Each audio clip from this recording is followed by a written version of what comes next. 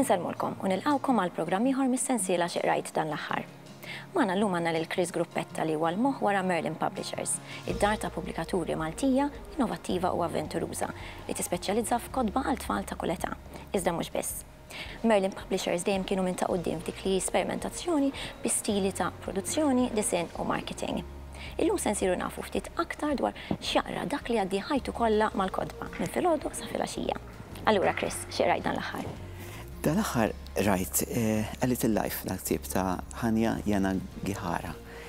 Ktieb jidher pjuttost voluminuż, però li jħallini bla nifs, jiġifieri li għaddej għand kulħadd, il-ħbieb tiegħi kulħadd ngħid nirrakkomanda u ngħidilhom bih.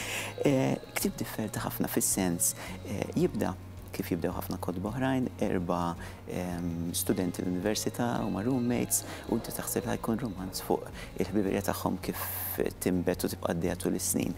Però mbagħad isir ħafna iżjed. b'saħħtu u r-roman ta' Fazz Naqa' diffiċli bħala emozzjonijiet għax wieħed mill-karattri jidher kif kien għamel ħajtu għaddej minn abbuż fiżiku, sesswali, għandu anki jikkompensa b'dak li jgħidulu self-harm, jiġifieri huwa pjuttost qawwi bħala ktieb. Però għalkemm probabbli kif qed niddiskrivih issa qed inġibu qisu xi traġedja tremenda, huwa ovvjament traġedja u ktieb iebes, però ma jistrumentalizzax it-tbatija.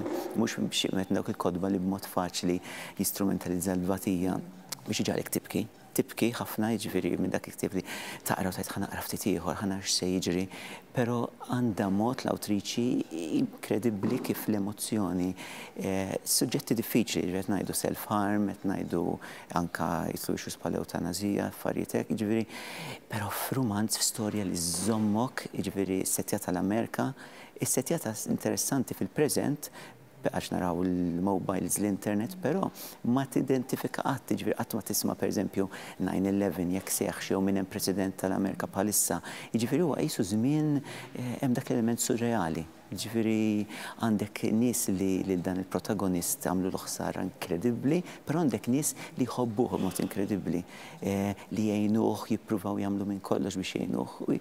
Għalija hija storja unika. Ma nafx kif iżjed naqbad niddiskrivija, qed ngħidlek fih mas-seba' mitt paġna u ma stajtx nitilqu minn idejja sakemm spiċċajtu. U kont issib ħin tagħmel affarijiet oħra matul il-ġurnata waqt li kont taqra? Eħna eh, kont nipprova nsib il-ħin, imma dak kien wieħed minn dawk il-ftit kodba li ġieli nxib xi skuża, forsi ħer ma ngħidiex, imma jekk kien nikkanċella xi meeting jekk nista' jew ngħid ħa nipprova naqra ftit ieħor jew naqra dik in-nofsija żejda, nisraq litteralment il-ħin għax vera kien wert li tisirqu l-ħin. Qrajt l-ewwel ktieb ta' Hanya Yanagihara wkoll. Le, nammetti li ma kontx qrajtu. Dana sirt naf bih għax kien shortlisted għal Man Booker Prize din is-sena u ma kontx qrajtu u ovvjament issa qiegħed fuq il-lista ta' kotba x'naqra, jiġifieri skoprejtha mill-tieni ktieb. Mit-tieni ktieb. Tajjeb ħafna. Grazzi ħafna Chris għaddilna l-ħin. Grazzi lilek. Aħna nirringrazzjaw lilkom talli segwejtuna u